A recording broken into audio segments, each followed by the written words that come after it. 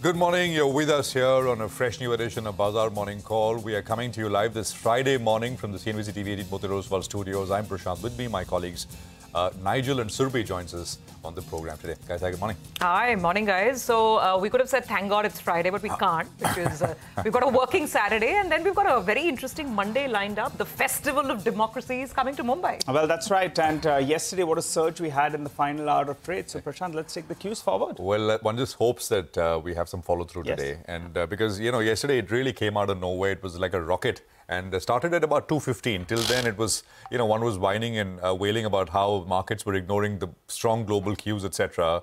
Uh, but I mean, 215 on, the market took off and never looked back. And we ended a solid 200 points plus.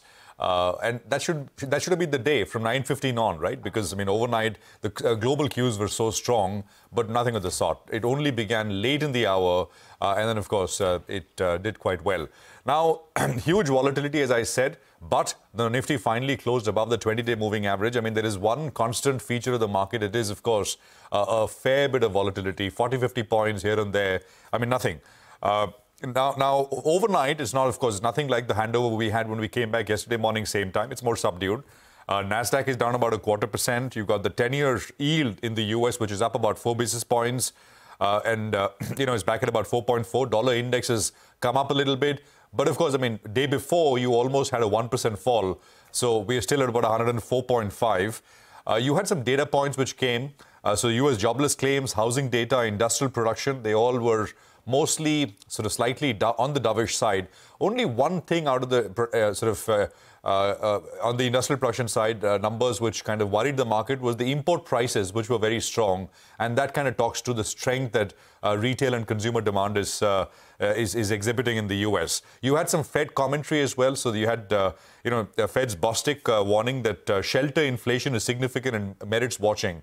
Now, this is housing, right? And uh, a lot of people, a lot of economists, senior economists have made the point that, you know, this component could turn things on the dime. I mean, you know, uh, expectations now, of course, gathering towards a rate cut, probably the first one sometime in September.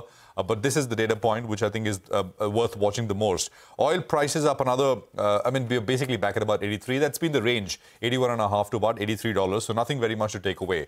Just to tie all of this back to our markets here, and you know, we put the data, this data point yesterday as well. Uh, the FII shorts versus you know the local longs, uh, and one was looking at the. I mean, you know, in the, the cash side, uh, we did. I mean, FII sold, but they sold relatively small, some 800 crores worth of stock. Locals, of course, bought.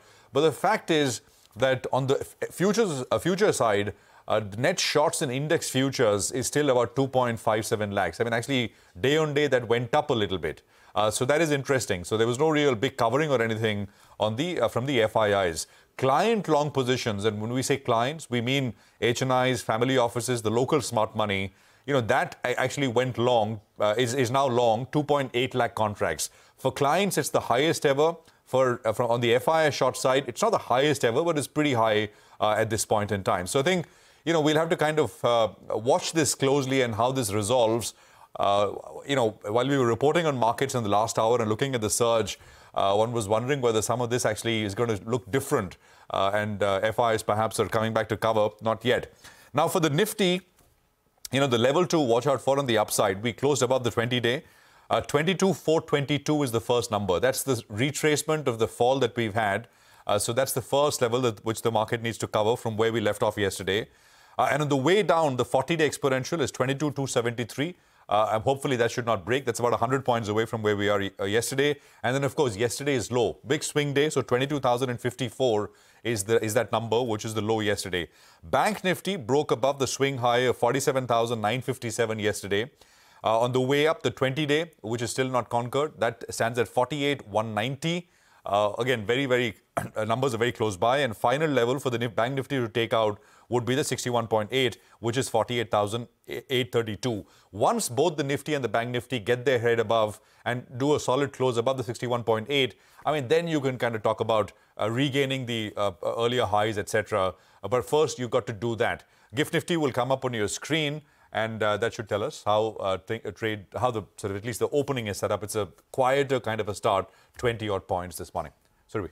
Prashant, yeah, absolutely. I mean, nothing much to report, I guess, from yeah. Wall Street action. But there's uh, plenty of action right now in Asia. I just wanted to point this out. Uh, the much awaited Chinese data is out and it's looking quite mixed, and markets across our neighborhood are also sort of a little all over the place, more down than up. Uh, so uh, mixed trends from China. We should put up the Hang Seng. Yeah, so these indices are a little volatile right now. Retail sales for the month of April have come in lower than expectations at just about 2.3% growth. That's year on year growth. But uh, industrial production, now that's really improved in April in China. 6.7% rise. This is again year on year. The pace has picked up even on a month on month basis, so that's good news. But then there's also the, the, fixed asset investment data, cumulative for the first four years, that's looking weak. Real estate investment data, that's looking weak. So it's a little uh, sort of mixed. Markets are digesting that. Let's see what kind of cues that we get from our neighborhood. But just coming back to our market, I mean, uh, so I was looking at the fall, and the fall has been almost a thousand points, 973 points to be precise, from the peak. Uh, the peak was hit on the uh, the 3rd of May, and uh, we're talking about that peak being 22,794, so just a shade below the 22,800 level. Now, the market has recovered almost 63% of that fall. However, it's been a very choppy and volatile recovery. That's the issue that we're talking about. The other trend, absolutely no sign of FPIs. When I was looking at yesterday's numbers, so I thought, I'd, let me look at the data, the final data for the year as a whole as well. And those picture, that, that picture is a little dismal. Uh, because look at the numbers. In May, we've seen the highest sales so far, FPI sales of about 27,600 crores. The net sale for the year as a whole is about uh, 25,400 crores. Yesterday's numbers, of course, will uh, come on your screen as well. Yesterday, the selling was uh, to the tune of about 780, actually a lot lower than the four-digit selling that we've gotten used to. And DIIs, as usual, were big buyers, over 2,100 crores of buying. But the biggest story is in the bond market where are the FIIs? They're not coming to the equity street, but they're definitely going to the bond street. And we all know what the, the triggers there are with the uh, inclusion of India and a lot of the big global indices. So look at that net inflow of over 44,000 crores in the debt market, whereas there is an outflow of 25,400 crores in the equity market. And that debt inflow is already looking very smart, even if you look at the whole year picture compared to last year. Anyway, that's a word on the fund flows. Yesterday, there was a bit of a drop in, uh, in volatility in that last one hour surge as the expiry factor played out, but the VIX is still around 20. Uh, so we have to take that on board. Perhaps we will still have to deal with more of these election jitters, you know, more reaction to the announcements, to the data that's, uh, you know, that the whole electoral process is throwing up. Uh, and in terms of results, we have a couple of interesting ones today as well just putting that on the table as well. So JSW Steel is going to come out today.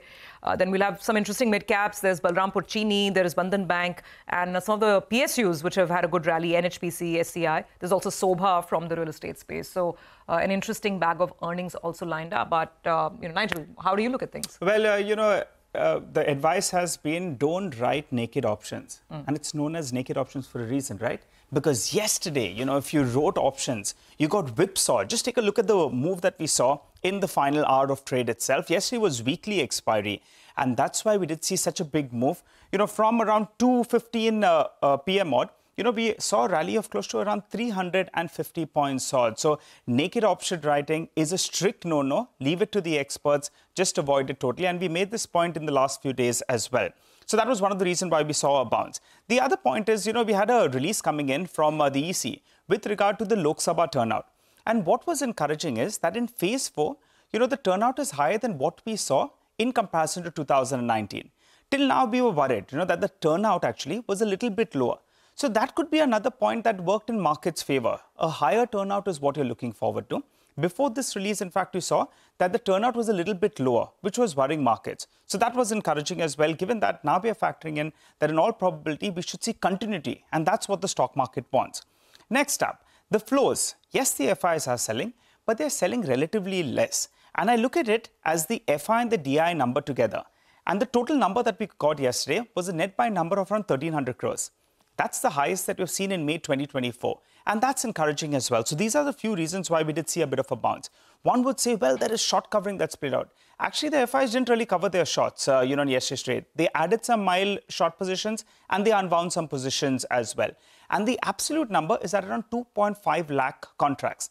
And I've made this point many times that if you're comparing it to the earlier data, well, then effectively the total short positions is at around 1.25 lakh contracts because the lot size is, itself has changed.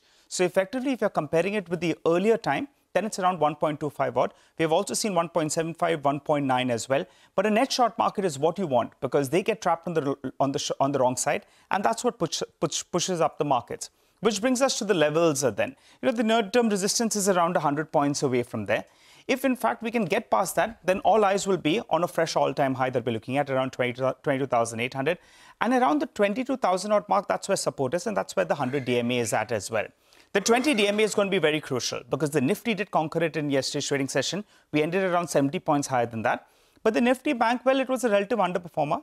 And the 20 DMA is around 200 points away from those levels. So as a trigger for today, on the bullish side, this is going to be the crucial mark that I'm looking at. A mild positive start is what you're looking at. Yesterday, we saw a big surge. Well, the bulls will want to build on to the momentum that we saw yesterday. And the levels, as I placed for you on the screen. A net short market is something that we like. Uh, absolutely, uh, Nigel, I'd agree with that. Net short market, I mean, for today, and in any case, we're moving to a big, big event, which is yeah. the 4th of June. You've got a net short market on the FNO side. You've got a market where FIs simply haven't participated on the cash side. So, depending on the outcome, uh, there could be massive moves as we get closer to that date. You know, well, I'll make one point, Surabhi. Mm-hmm. Uh, you know, so uh, of course, elections, uh, the results are going to be in the first week of June. The market usually gets it right. Mm. So, uh, you know, if uh, the market senses that this is there is continuity, mm.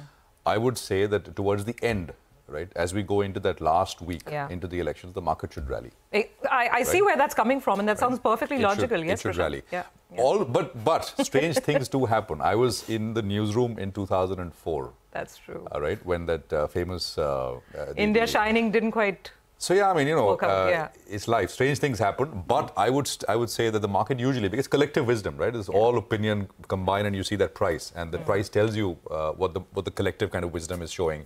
So you know, it's doing what it is doing, but uh, it should kind of reflect uh, what what the actual kind of outcome is going into the final thing. It could happen in the last few days. It could happen yeah. in four days, five days out, but it should happen. The nerves of a nifty trader in this season, and really kudos to uh, all the traders who are managing to do this. Well, with that, uh, let's move on to some money market views as well. On the rupee, Lakshmanan V of Federal Bank says that the US dollar index weakened to a one and a half month low due to softer US inflation while crude oil prices fell to a two month low. Although euro and pound were trading at more than a month's high, the rupee was under pressure due to equity related outflows to the tune of $3.3 billion in the month of May so far. In the coming sessions, he expects USD INR to trade in a range of 83.30 to 83.65. Okay, well, on bonds, we have uh, Lakshmanan V who says that Indian government bond yields declined, tracking a sharp drop in US peers as inflation in the world's largest economy came in lower than estimated. Uh, it's raised rate cut bets this year. India's CPI for April is at 4.8%, and that was in line with expectations. In the coming sessions, we could see the 10 year benchmark bond yield trade in a range of between 7 to 7.12%. Well, we've got a lot of stock specific action for you. We get to that in just a bit. For the time being, though, we run you through the list. We're looking at Biocon, Vodafone Idea, Vedanta, Concord, Endurance Technologies, Crompton, and Kaynes Technology. All of them will be reacting to positive news flow on the flip side. PB FinTech